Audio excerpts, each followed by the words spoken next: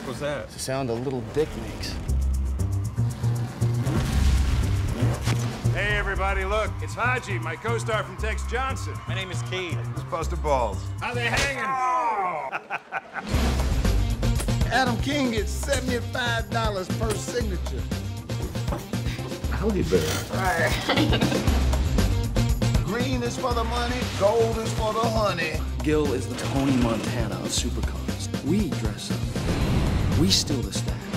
And we walk out like nothing ever happened. You guys know this is a dumb idea, right? Oh, yeah, we do. I'm in. Sid, what do you think? You in? Yeah, the Adam Kings of the world? They're robbing from us. We want to take it back for the fans. This kid just monologued me. Let's rob Supercon.